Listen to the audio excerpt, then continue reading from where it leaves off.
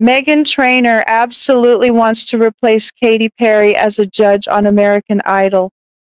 The 30-year-old pop star, her husband, Spy Kids alum Daryl Sabara, and her brother Ryan Trainor stopped by for ET's Spilling the ET segment, and the Hubs didn't waste time trying to gauge her interest for the coveted job on the ABC singing competition series.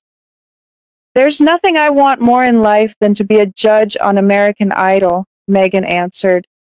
That is my ultimate bucket list dream come true. Please, please consider me laughs on your show. Please, American Idol, please, I'm ready. All right, yeah, I would love to.